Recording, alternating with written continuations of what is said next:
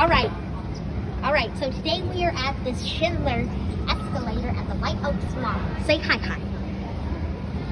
What's up, guys? Yeah, this is my friend named Ashton. I used to go here. Really? Yes. All right. So that this is a Schindler.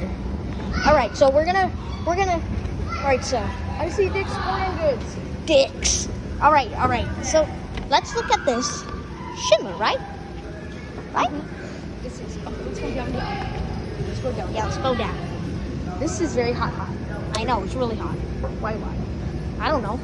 There's White Oaks Mall presented by Simon. Hi, Finish Line. Dude, they have great sh- shoes over there.